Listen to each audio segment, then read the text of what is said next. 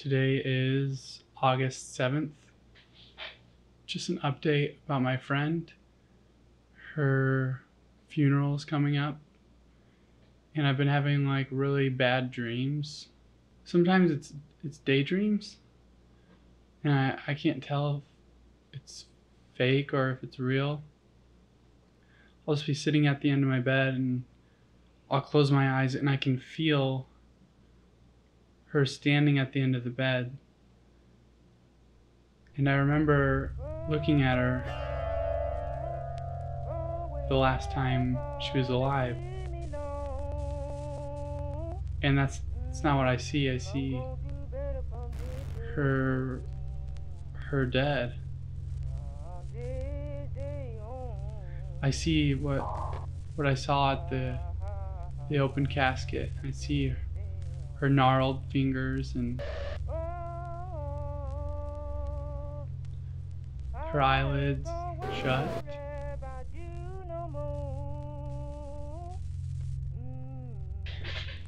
And she's standing there. And she's just sort of swaying back and forth. And her eyes, her eyes are closed, but she's standing there, and it seems it's it's it's not a good visit. Seems evil.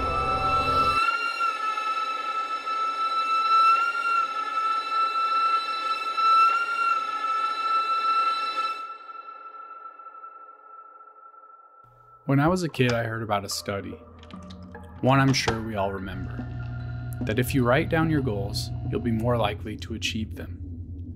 So after watching Jackass and my cousin showing me how to edit clips together, I knew I wanted to be a filmmaker.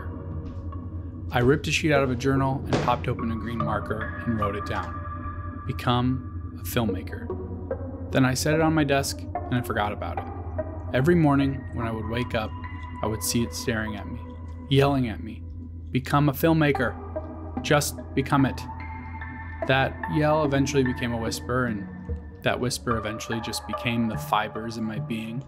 I'd make a lot of jackass style videos and weird little horror shorts, one called Paddle Killer, which there would be three of in the series.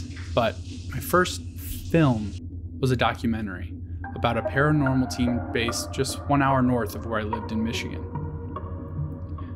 Before we go there and watch some of the footage I shot, I want to look back even further. I want to look inward too. I want to look at where the paranormal first came into my life. When I was young, I remember going to an open casket for my great grandmother. She was dressed up and looked nice, but I could feel there was something off. This was my first brush with death. And when death comes, so do the questions. And my mom always had the answers.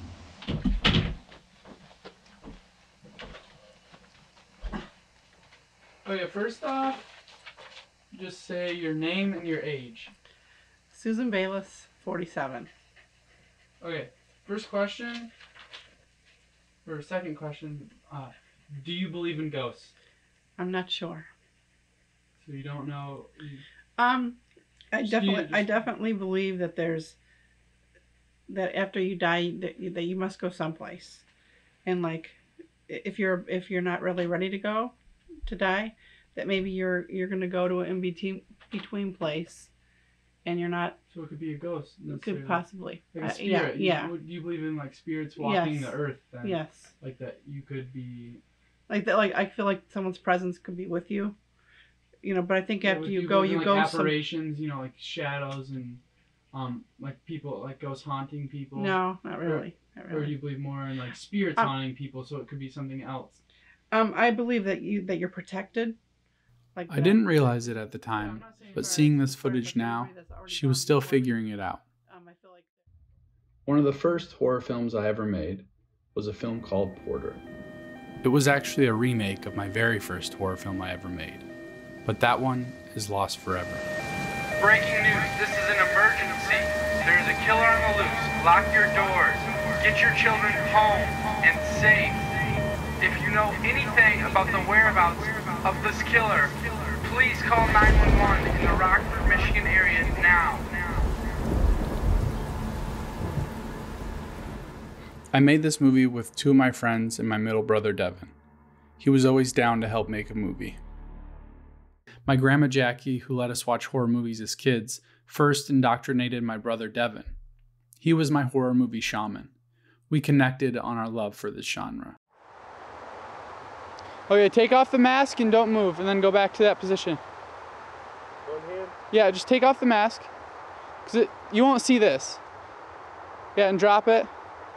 Then go that same position and just sit there. Okay. I think we consciously were trying to make a Halloween slasher like one of our favorite movie franchises, Halloween. Michael Myers was our anti hero. Subconsciously, I would say, we were making a movie exploring the potential evils of the world. I have this memory, and it could have been a dream at this point, I can't tell the difference, but in high school, I would get home before my parents and be home alone for a few hours. And sometimes people would pull into our driveway, and it was one of those roundabout driveways. And so some people just were using it to turn around, and sometimes it was a salesman, and some people would come up and knock on the door, and I just wouldn't answer. Anyway, I don't know why, but I was very scared of someone breaking in and trying to kill me. Probably all the horror movies. This fear of an unknown man breaking in and hurting me and my family.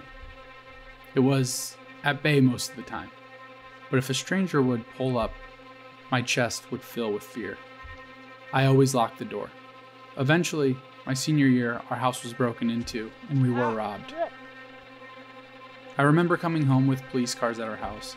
My mom got home early that day, and she must have come home just moments after the robbers had left. Nobody was hurt, but they'd ransacked our house. It's a hard feeling to express, but it's a mix of confusion, anger, shame, and a sense of broken privacy and vulnerability. I beelined it for my room, and with my personal belongings everywhere, I looked for my camera. The robbers had stolen it. At this moment in my life, I fell to my knees and I cried. Until filmmaking, I didn't have any purpose. I had no real interest in anything else. I enjoyed basketball and other sports, but I never felt the ability to express myself like I could with filmmaking. We'd claim my camera on the insurance and get money to get a new one. It was a Canon Vixia HV40. And it's what I shot Porter with, and it's what I would go on to shoot my ghost documentary on.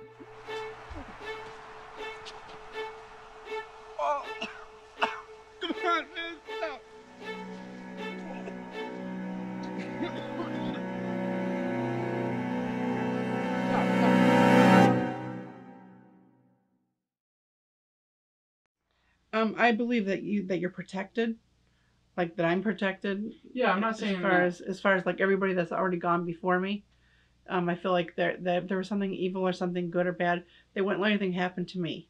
So they would protect me. So I would never, you know, because I don't want. protect you I from think- a ghost or or bad evil, evil Right. energy or evil Right. spirit. Right. I think it, that if you want to be con- contacted with the outer world, that you can be, but I choose not to be. Okay. Are you religious?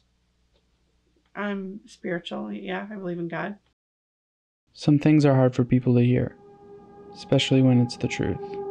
For example, the Bible was not only written by humans, not God, but also originated from the thoughts of humans, not God. As you become an adult and you think for yourself, the answers go away. Doubt becomes clear, and faith seems like a distant, blurry idea. As I was going through my old hard drives, looking for the footage from my ghost documentary, I found footage from my early work footage of weird, experimental filmmaking. I always remember this the last thing I, I told him. What's that? I said, hang in there.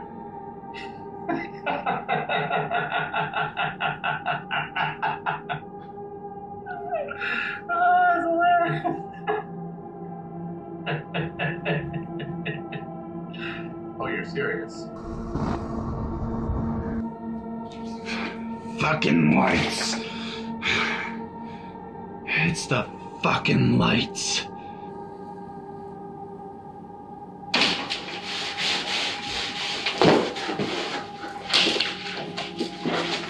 God is not real. Grass is. Dirt is. they are after me.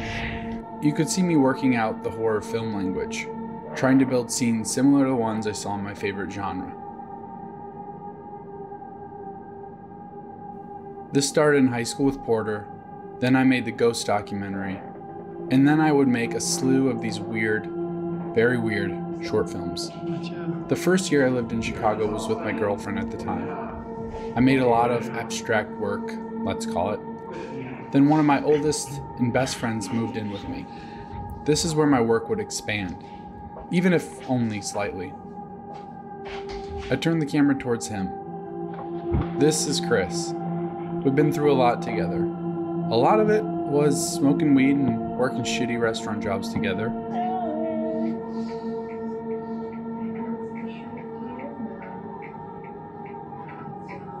Wasn't safe, wasn't safe. Start recording.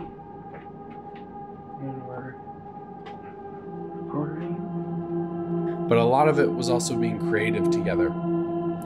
Chris is a shy dude, still is to this day. Looking back, I can't believe how much he even got on camera and how much he would say on camera.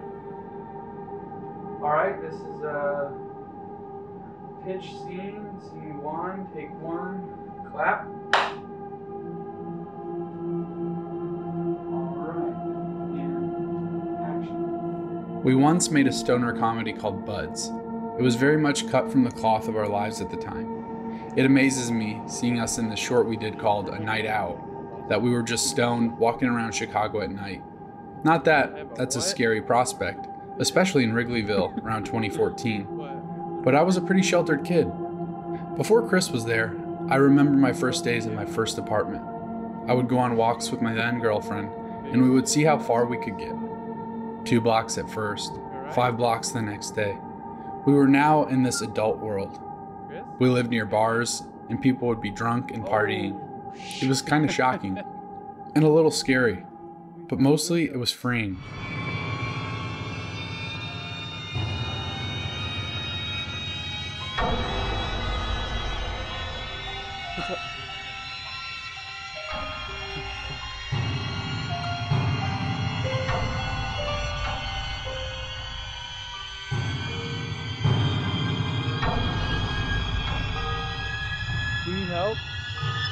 You need help, sir?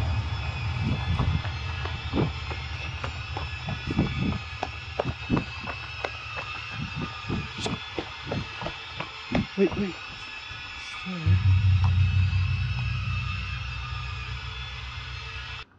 I think we're good. What the fuck, dude? When Chris moved to Chicago, I felt the world open up even more. Having a friend in the city is a huge advantage. We worked together, we hung out all the time, and we lived in the same apartment. He was an anchor for me. He helped me feel safe, and I'm sure I did the same for him. We made friends together, we made movies together, and I find in life and in this old footage that a friend like Chris is something you can't take away. We now live apart. Him back in Michigan, myself currently in New York, but I carry the strength he gave me every day when I go into the world. There was this time in elementary school at a talent show. I had these juggling sticks that belonged to my oldest brother, Ryan. Chris was going to help me in the act by catching and tossing them with me. When I got up in front of the school, I didn't toss the sticks to Chris enough. And that's always bothered me, because I wouldn't have been up there without him. He's the quiet type, and he never brought it up to me. And honestly, he probably didn't even care, but either way, I appreciate him standing up there with me. And I'm sorry I didn't incorporate him more into the show, because he deserved more. I love Chris, and he will always be one of my absolute best friends. I'm so happy we got to experience this time period together. I couldn't have done it without him. Every horror movie needs a sidekick, and we got to be each other's. What a blast we had. There's something comforting about an old friend. Sometimes stories are old friends. Digging through this old footage, I found an interview similar to my mom's of my dad, and I asked him to tell me a story that I had heard many times. He's great at telling it, and if you prompt him, he will tell it to you today. without skipping a beat. Um, do your parents believe in ghosts? Um, my dad, definitely not. I don't think. Um, but I have a story to tell you about that. Yeah, what's the the glass? Yeah, the yeah, yeah. Um, we were uh, up at his house in Oconomowoc, Wisconsin, when he had the boat out on the lake, and uh, it was like our first, your mother and I's first anniversary, and uh, we spent the day out on the lake. And while we were out there, um, my wedding ring slipped off my finger. So we're I was swimming, swimming, and uh, my wedding ring, you know, got loose because my finger got cold in the water and, and whatever, and it slid off. And I saw it, and I grabbed for it, and I couldn't get it, and it went to the bottom of the lake. And about five minutes later, your mom was swimming in the water, and she had a pair of sunglasses on her head. She swam around and down the sunglasses went. So you know, I mean, it was a, a bummer about my ring, but when we got back, we were talking about it, and Jackie was telling us how Lake LaBelle, back at the turn of the century, was a famous honeymoon location, um, common vacation spot. And um, so a lot of people in horse and buggy days came up there for the holidays. And uh, specifically, Lake LaBelle was a very common vacation honeymoon kind of spot. And Jackie started talking, you know, about how it was the the ghosts of the lake, or you Yeah. know, the honeymoon ghosts, or ghosts, what sure. Um, how they took the ring and the glasses as a symbolic gesture on our honeymoon. And um, it wasn't our honeymoon; it was our anniversary, first year anniversary.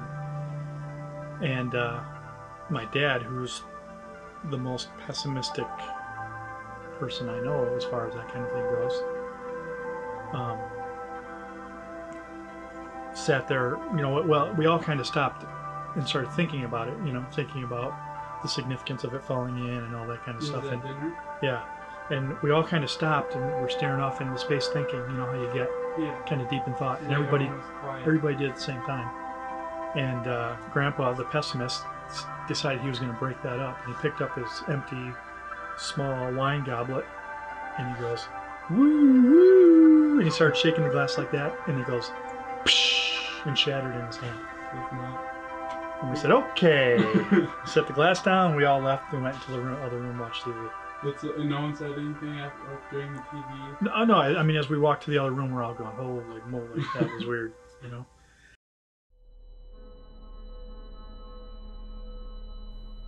At 30, death seems more real than ever. It's tangible. It's pain in your knees, pain in your back. I was on an airplane shortly after turning 30, and I play it cool, but I have a little anxiety about flying. It can both put me to sleep and remind me that I can die any minute of any day. I had a moment looking at an older man that I felt the inevitability of death. In that moment, I really feared it. It's more real in your 30s compared to your 20s and your teens. I had experienced it, but I felt disconnected from it then. Death felt more like a concept than something that could actually happen. When I was in high school, some kids committed suicide. That peer to peer death experience felt different compared to the death of my great grandmother. This one felt cut short. One of the kids I had a video class with. He, myself, and two others worked on a PSA against drunk driving. I remember all of us at the edit station watching the one kid edit our piece, and I set my big foot down right on a power strip that shut down an entire row of computers and lost the last 15 minutes of work for everybody. I felt like an idiot. But I remember this kid, we can call him Sean. He just laughed. And I appreciated that because everyone else hated me in that moment. That class was closed though, due to the nature of working on video projects together. That class ended after the semester, and I would say hi in the hallways or on a basketball court somewhere. I was a junior and he was a senior when he died. I remember my mom coming in my room and kind of waking me up with this information that Sean had died. I dry heaved in my bed, almost puking. Shortly after, one of my best friends showed up to my house, and we cried and sat together. Regular classes were canceled that day at school, but they put counselors in the gym and the library. I remember people crying that I felt didn't even know him, and that made me think about how well I knew him. Considering I just knew him from a class in sports, I wouldn't consider myself one of his close friends, maybe not even his friend. So I felt like I shouldn't express too much sadness because I didn't want to offend his real friends. Either way, it was so scary. The suddenness of it all. That bright light that would just laugh off my mistake and make me feel better in turn, gone. Later, once I had moved away to college, another girl, this time a year below me, committed suicide. She was similar to Sean in that I was close to her through my class, but I wasn't necessarily in her group of friends. I was a floater in high school. In a lot of ways, I'm a floater in life. I know people, but I'm only truly close with a handful of people, my oldest brother Ryan being one of them. When she died, I took an Amtrak train from Chicago to Grand Rapids, Michigan to go to her funeral. It was sad, as you can imagine.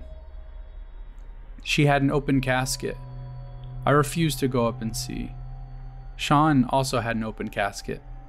That one you couldn't avoid passing, since the casket was set in the lobby as people walked in. I remember seeing his lifeless body, deflated and empty. He was an organ donor. It just makes your heart sink. These two funerals swirled around in my head as I tried to make sense of it as a young person. It would make it into my work in one way or another. Quite literally, in the logline of a series I would make called The Holy. The Holy was about a young man who comes home for a funeral to find his sister has been possessed by something paranormal. I raised a thousand bucks for it, and I bought a hard drive and some props. Hey, did you see that Chris called? Yeah, I gotta call him back. I'm really happy you're home. Thanks. But, you know, I'm really sorry about Katie. Sorry you have to be home for that. Me too. But you know, she's in a better place now. My oldest brother Ryan and I were always close, but he was seven years older than me, and especially as I went from 18 to 22, not in the same place in life as me. I would benefit immensely from the groundwork and learning he did during that time. I had very little experience filmmaking, only my childhood videos, my school projects, and the ghost documentary I did in high school, so I needed his help. Ryan would film the project, his wife at the time would star in it with me as her brother. I would get my brother Devin in the mask used for Porter, and also his girlfriend at the time would play the last character. We shot this in about five days, and it was a blast. There are fewer things more exciting than working on a movie project with people you love who also care about the project. It felt like something. I felt empowered to create. The project ended up too short for a feature film, but Ryan and his friend Darren would cut it together in very stylistic episodes, which ended up being its best form. I go and watch that project today and I still love it. It's weird, very loose, and very style heavy. But it was me working out something in life through the lens of horror filmmaking. Something I'm very scared of is just being a regular person, of not reaching my goals and not doing something special in life. I've always felt destined for greatness, silly as it sounds, but it's my biggest weakness, but also one of my biggest strengths. It gets me up to bat again and again as I fail throughout life, because failure is progress and progress is success. My mom always made us three boys feel special. It's something we carry with us. Here's my mom reading a note she wrote me on a yearly book she gives us at Christmas. One, two, Alec. Um, my, our youngest. Come on, I want to hear it.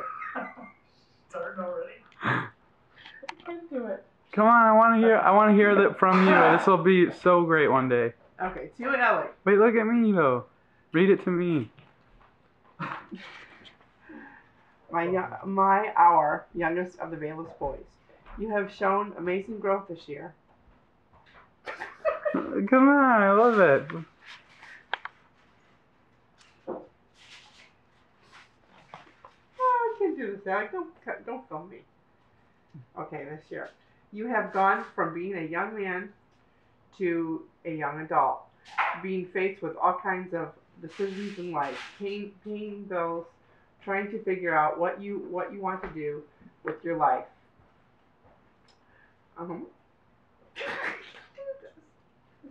Oh, it's okay, mom. oh gosh, so, so embarrassing. Put that thing on my face. Okay. Okay, make, let me go back.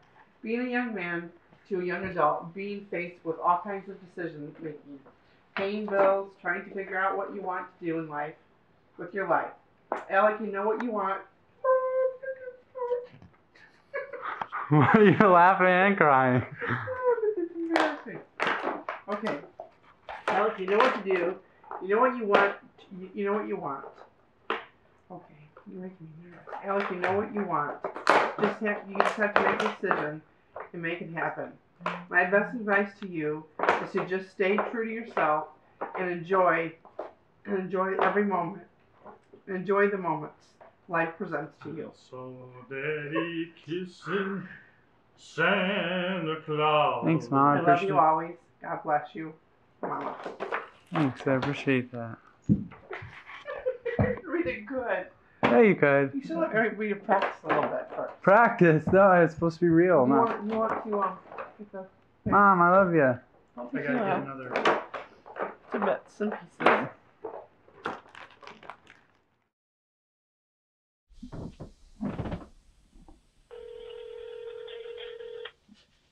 Because uh, basically one of the biggest concerns that I have on doing all this Mhm. is uh, our name. Right. Um, I built uh, my group, and I have, have built Grasp up. The, the three founders are my wife and my best friend, Uh huh. and we built this thing up from nothing, and we're pretty uh, pretty well known in this area now. And our our name is is you know, our image, and it's, it's something that we all value and we all try to protect quite well. Right.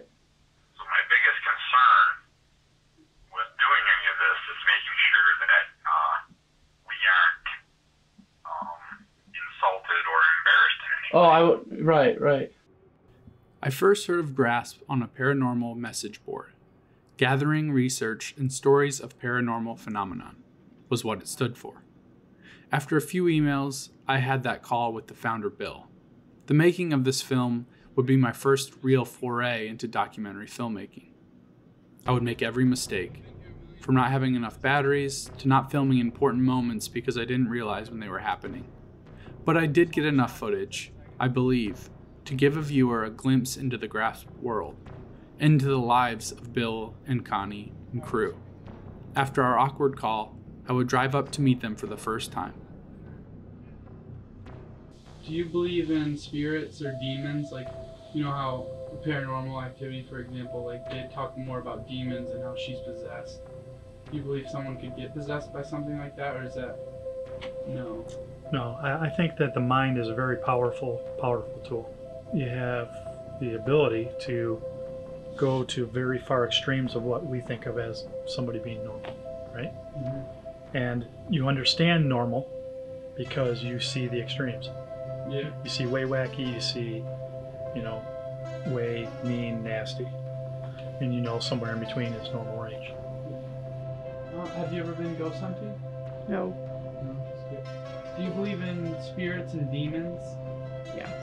Demons like uh, Bad. Bad evil energy. Things. No, like well, yeah, but uh, a demon that could possess you, Yes. and it could. So exorcism, you would you believe in that? I, I, I would say I, I'm not gonna say yes to that. I'm gonna say it could happen.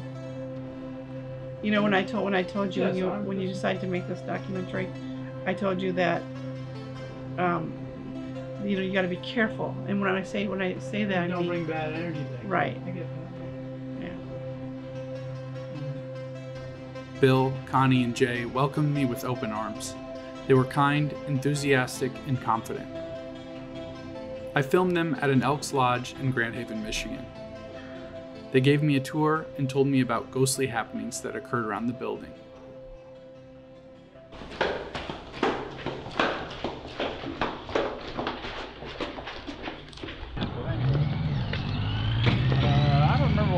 What holiday that was.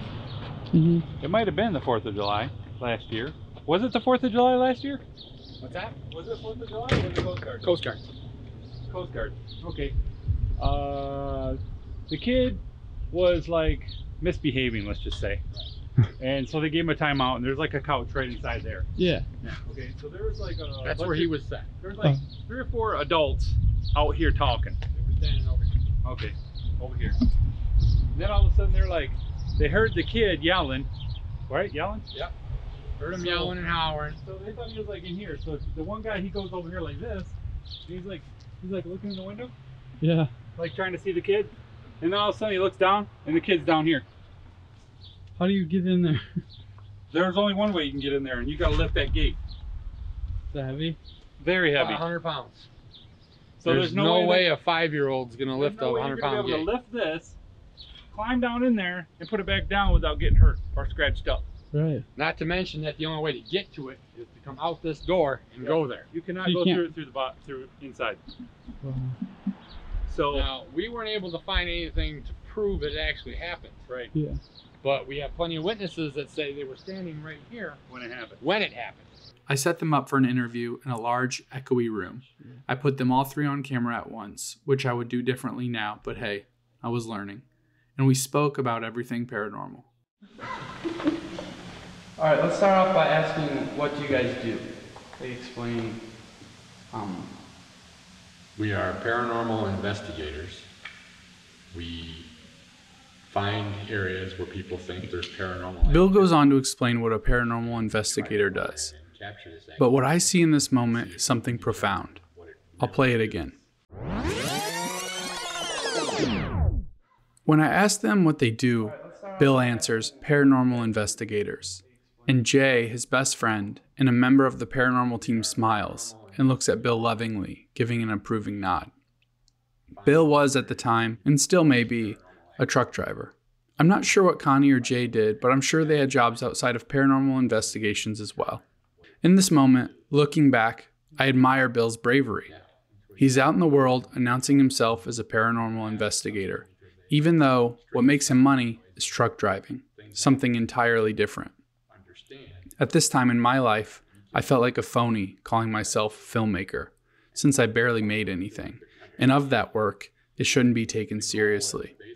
It took me a very long time to feel comfortable calling myself a filmmaker.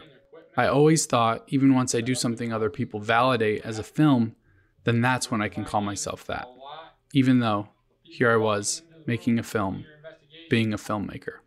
Because what I didn't know was when I was young and first wrote that goal down, that simply by pushing record on my digital camera, filming clips with my friends, editing them, and then showing whatever audience I could find, was being a filmmaker. We had a few up there in Cadillac where the cameras, the voice recorders were shut off, and people were in the room doing an investigation. Uh, we lost like 45 minutes of YouTube when you had your uh-huh. little incident. Hey, I set the equipment up. I, I no, I'm not placing. Don't. I'm not No, placing he's blame. just this saying is we got it checked. this is just a reminder. Oh no, that was good at me too. I can defend myself there.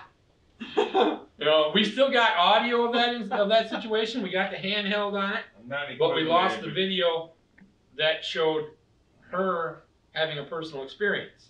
This is the main road. After leaving the Elks, I visited Bill and Connie's home. They had all the cases and evidence stored on their home computer.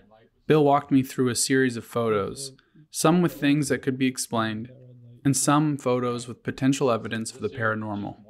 He was passionate about this. He showed me books and showed me their gear and told me stories. What I loved the most about his passion was that it was admired and it was contagious. The way Jay would look at Bill when he would make a point with authority, or the way Connie would add in little bits and pieces to fill in Bill's story. They were best friends, and they created this group together for fun. But it turned into something more. This passion and platform drew more people in. It built a small community, and that was something I admire. Bill had made more out of his life, out of passion and action. He gave himself and his friends a platform where they were the authority, a place to call the shots, a place to be together and have fun, and most importantly, to Bill, a place that they could help people. You want to help them, right? Yeah, and so we helped. We were with the Elks here. We were asked to come in because they had strange sounds and noises, things happening that they didn't understand. And we came in, and investigated it, and found things that we couldn't understand. Now and you- the goal is basically to figure out what it is. tour, and we, we, uh, we came through over there. Okay, came back around back, and we went downstairs. I was in the front, and then we had a group, and she was, she was in the end. So as she was coming through the outside door, she goes, she, she yelled to me and said she heard a door slam. All right, so I'm like, wow, cool. Hmm. So I almost told, told the group to stay, but then they followed us anyways. We came, we came running back up, up the stairs. Came running back up the stairs, and then we came down, I came down here, I'm like looking, this door was open, so there was no light on in there.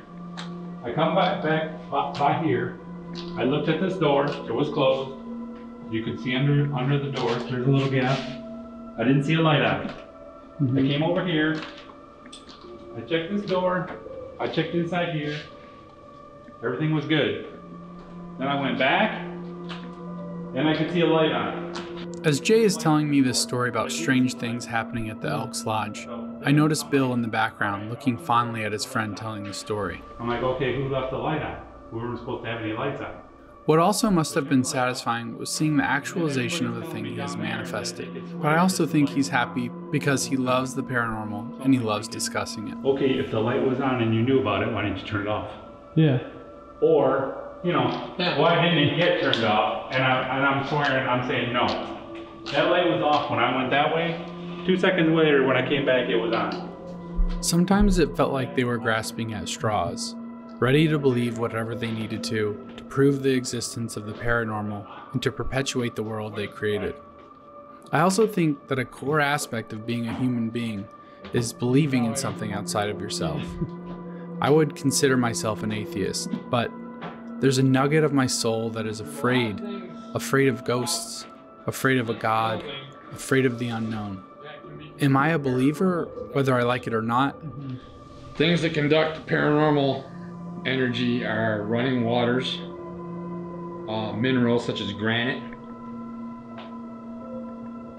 They're very, they're, they're said to be very strong fields that can be created by these things.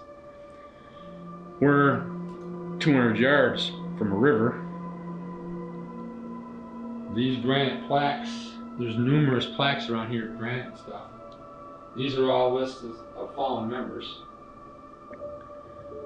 Back in the early 1900s, there was a mineral, magnetic mineral springs across the street. You know, so these are all things that can add to the energy of it. The mist wrapping around the tree that we were talking about. If it were breath, because of somebody taking and holding the camera wrong, Yeah. it would be deep around the edges somewhere where it was coming in. Now, where we come in here all the time, and when we first started coming in here, people were jokingly all the ghost hunters, the Ghostbusters, you know. And once they started looking at the things that we found, they take us a little more seriously. A few weeks later, I would make my way back to Grand Haven and go on an investigation with them. A woman and her daughter were experiencing paranormal phenomenon in their rental unit.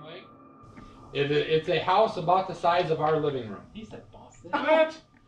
That was plural. Yes. No, So it's one bigger than was that. It's not much bigger than that. It's bigger than that. Um, on that case in Spring So I can do the investigation from outside? Just holler into the just house? stick your head, your hand. you won't even have to holler. Yeah, with the camera or the microphone, you know, the. Well, You can reach over and tap us. There just leave goes the door trying to open. walkie-talkies, because you just talk and you hear each other Exactly. outside. Exactly. Okay, so you're not gonna tell us anything about this house, Here's right? here's what I'm going to tell you about this investigation. Bill's big mouth on there. Bill's everywhere. It's all about me. Bill. Can't get him raised all the time. I Black and white. I should put Bill Jones of Grasp Yeah. presents. Make sure you put it in pink. Bill Jones of Grasp. After a brief introduction to Sean and Ella, we shut off all the lights and began the investigation. The EMF is went from being a .02 to a .08, .09, .10. Yep, I ain't moving at .09. It has been at .03 the entire time, and now it's 0.9. The hair on the back of my neck is standing out. Can you come in the bathroom with me? I'd like to talk to you too. Can you read, can you see this on your camera? It's now .08.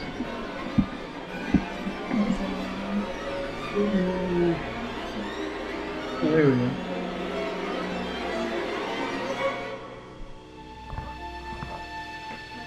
Yeah. Oh, um, holy crap! I got the hair on the back of my neck is standing up. So before we leave this room, Do you not want me to leave?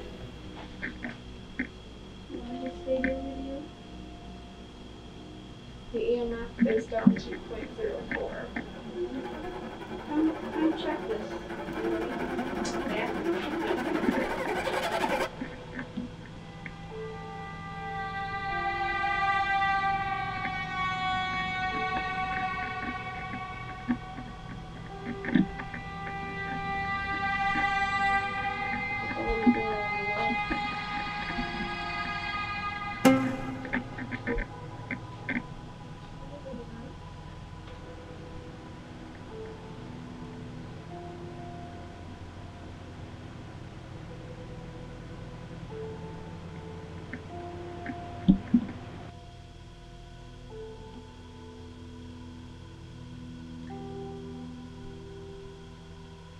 Are you looking at me right now?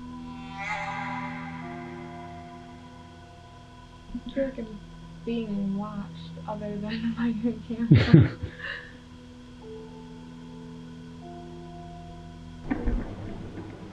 Don't let him scare you.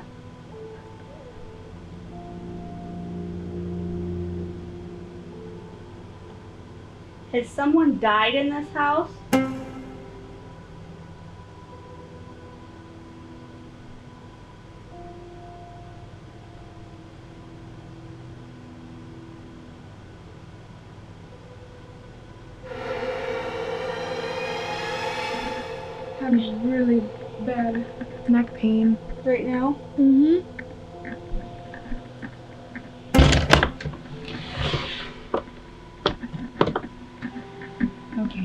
Spider lands on me, I will scream and bolt and probably knock you over.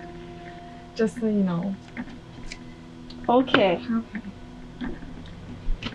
Okay. If I see one, I'll tell you to move, but I'm gonna make sure the door doesn't.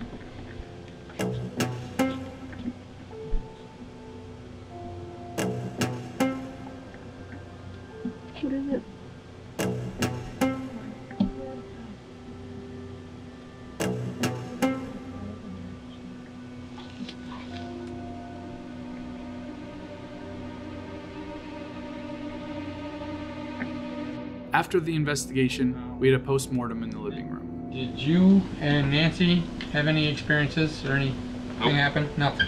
Nothing. Okay. We took the information that you told us when you came out, and I discussed it with Sean and Ella, and Connie and I. The four of us are the only four that knew anything About the goings on. Okay? And Sean's gonna let you two know, especially you two, but all of us, what some of the things are going on here. And I want you guys to compare what she tells you with the things you were telling us. My first experience with anything in this house, um, I was in her bedroom cleaning off her dresser, and coming from that direction to this direction, I saw a shadow. Sort of a something out of the corner of my eye, that like double take type of thing. And I knew it was a man. Um, and that's really all I could discern from from that moment. And I talked to my landlord and I asked him his dad actually he was his dad grew up in this house. So and his dad died in this house. And I don't know his name, but I called my landlord and asked him, you know, do you know anybody if anybody died in this house? Because I think there's something here. And he said, well, my dad did. And he, I said, well, maybe it's him. He, he just said, well, tell him I said hi. They and their family, and the women in their family, have all had psychic experiences. Do you know what his name is? We are going Dane. to find that out. D A A N E. Dane? Dane. I know his last name is Dane. I think it's curiosity. Not trying to bother you, just So- curiosity. Mhm. The negative. You no don't, negative. You don't There's a feel little, any negative. There's there was a little bit of intimidation, a little bit, but I and the response is almost like out of curiosity, like no way harmful, no, not necessarily negative. I don't know how to explain it, but out of just curi like there's curiosity. Maybe that's what I would say if I felt anything when I saw it from Ella's bedroom. Now where where you were standing on our I was dresser, and standing where right- was it? Exactly. Well, the first time was I was standing here dusting. And it was right Can you there. reach? if I'm if I'm him, this is me. Okay, so I'm Sean and Ella would continue to share more occurrences they experienced in their rental. I don't want to invalidate what they experienced, but it became apparent to me that many of the things that happened there were as shadows or in the corner of their eye. And I do believe them. I think they experienced something. I'm just not sure what. I also see a mom and her daughter in a rental house looking for a way to connect, a community to be a part of, someone to talk to.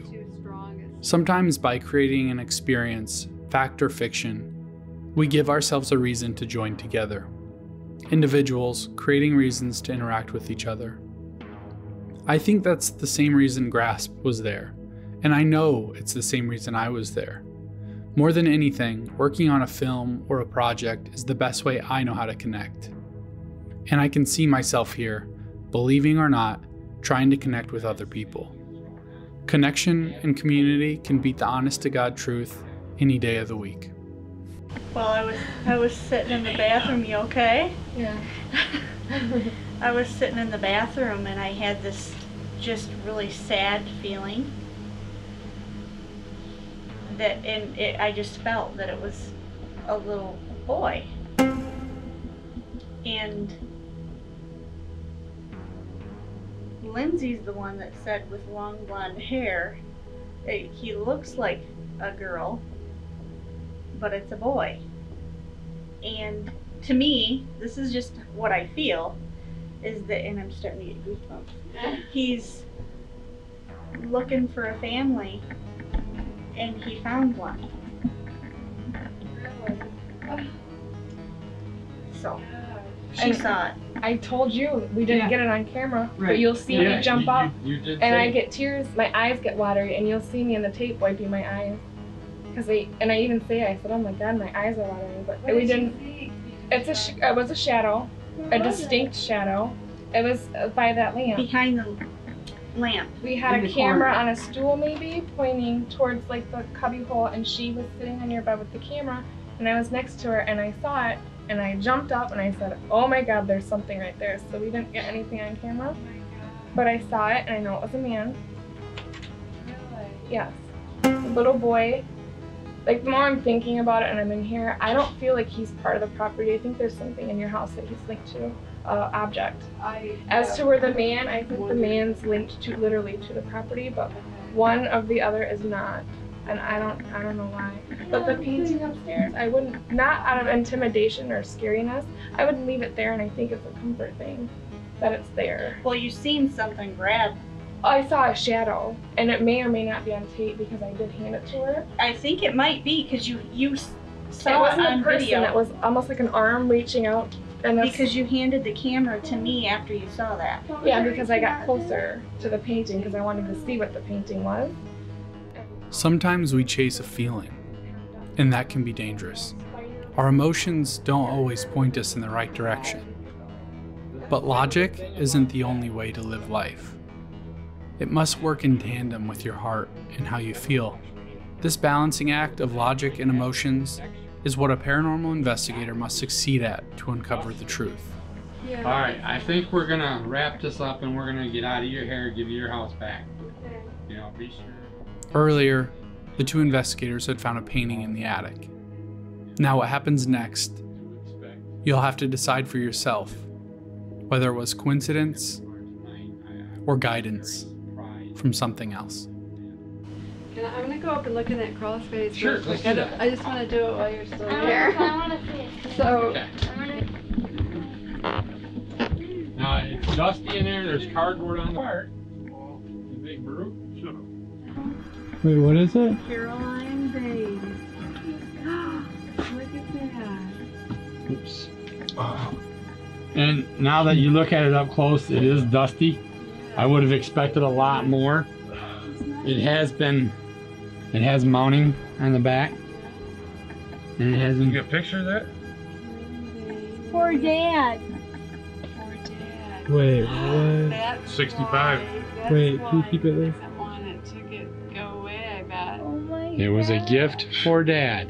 Dad. Now, you throw everything I, together. just, I did get goosebumps. Look at my arm. Oh, no. Me, I'm still sweating over here, man. Good I gotta crawl good back in there. My hands all dirty now, cobwebs.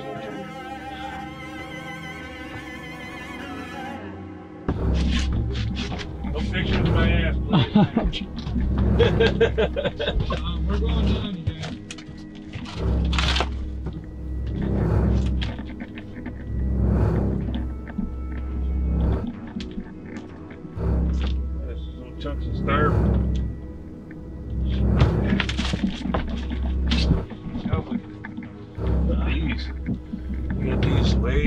Back in here, about 10 feet. I was looking for critters. See, they dropped down. And that Mine I was found yellow. upside down one day, and I thought maybe you did it. Do you remember me saying that about Yes. the little blue truck? Yes, you did. What? You set it out in the van. It's attracted to that little blue truck. Yeah, She told me that one. You're losing. You're telling me. Why did you let go jump? You say it. this one day was I knew it was laying something. upside down over here, and I thought, oh, Ella did that, and she just being left it. You know. Let's, let's do it. On the way back, we stopped at a gas station, still shaking from the excitement of the investigation. Start the van, they gotta pile in sooner. I wish I could have captured this, this afterglow from the investigation. It was really palpable. And in these uncaptured moments, I really understood why they were chasing the paranormal. Bill dropped me off in my car, said goodbye to the team, and drove home. I am getting tons of requests for a fundraiser. He told me I uh, need help from everybody in the team because this idea will require money up front. I already told you what I was gonna do, right? Okay. Those that contribute to this We get a will get their t-shirt? will get their money back as soon as things are collected. That's a good one. Yes, you will get a T-shirt. That's because, like at work, it's here. Here's 200 bucks to help out. Here's a damn T-shirt. There, there is, a, there is a possibility. yeah. What, what I'm talking about is this. It's going to be a ghost tour. Um, I have a lot of things to get set up. Right now, for 100 T-shirts, it's looking like $500. I'm trying to get better prices. We all want more from life. Something beyond death, some meaning that feels special. We need purpose. I make things. When I look back at my work, horror or documentary, I see a common thread. I wanted to break free from my mundane job or my low income or the fact that I'm just a regular person with nothing special about them. The Grand Haven Ghost Tour 2010.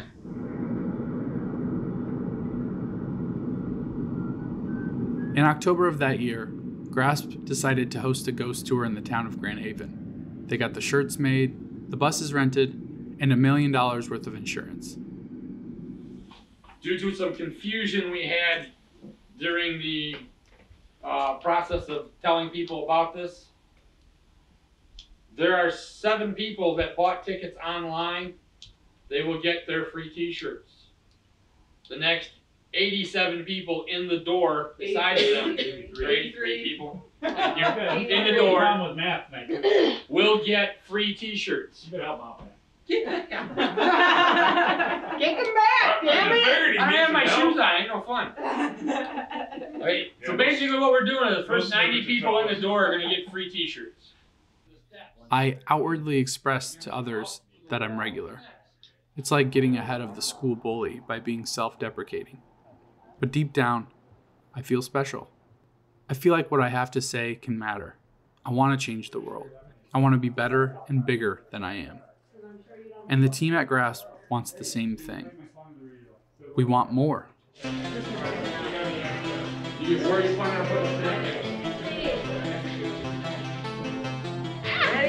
Justin.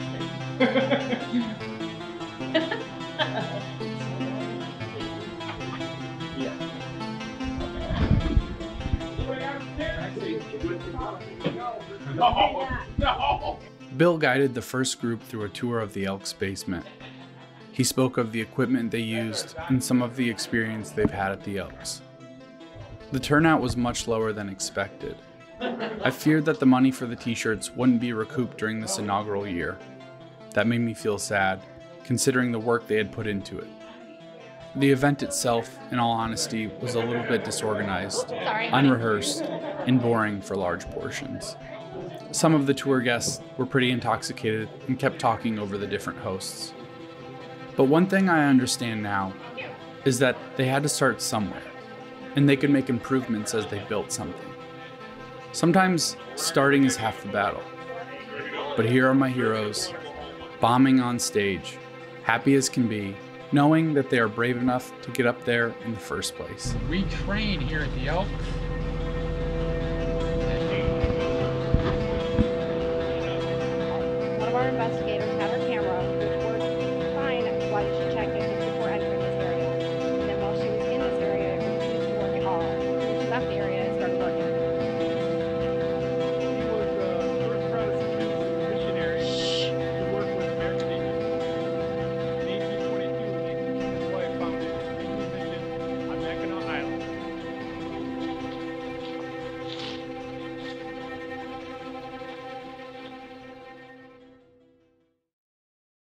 Do your parents believe in ghosts?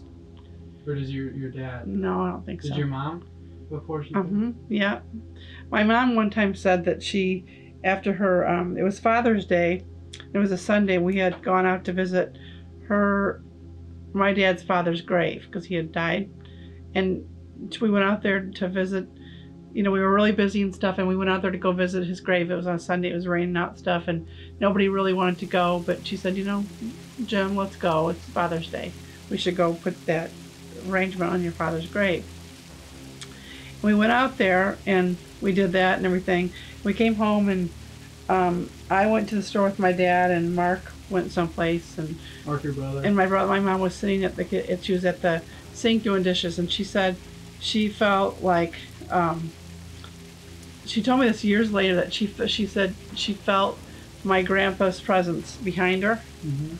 He was. She said she knew exactly where he was standing. He was standing on the rug, in the kitchen, and he was standing there. And he said he he said to her in like telepathy, sort of, um, that um, they, he thanked her for being there, for coming on a on a day that it was kind of rainy and stuff.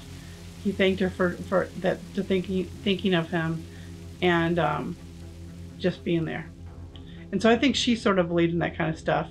I think she had the I think she had the um, the ability to to communicate maybe, but she chose not bit of a to. yeah, she's kind of like me. I, I think I have the ability to, to, to communicate if I wanted to, but I don't.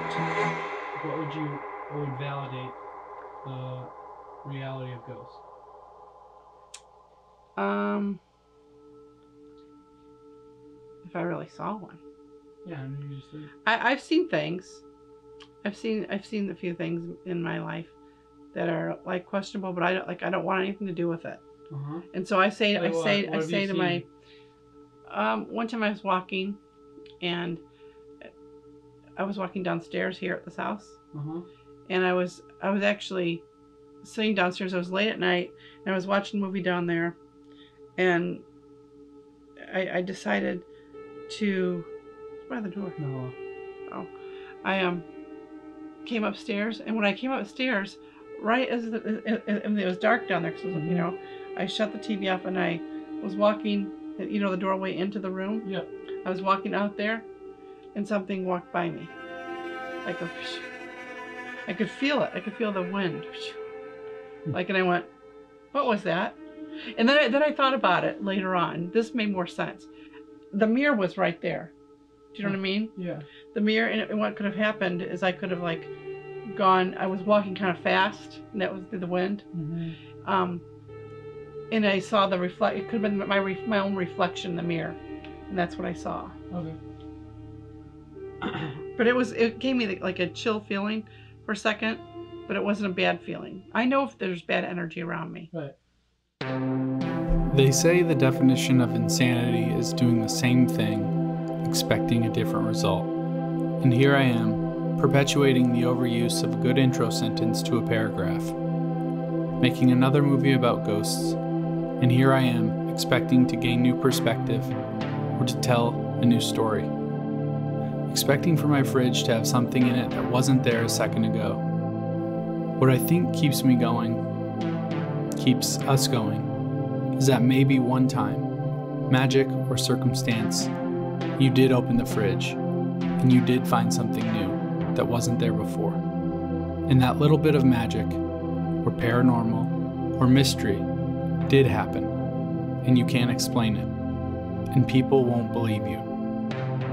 But you know what you saw, and it's that thing, that inkling of something not tangible or scientifically explained that can propel us forward. To me, it's exciting. In a world where all the corners of Earth are being documented, filmed, and shared in an instant, there will always be a little mystery left. So I'm left with one question Does it matter if it's real or not?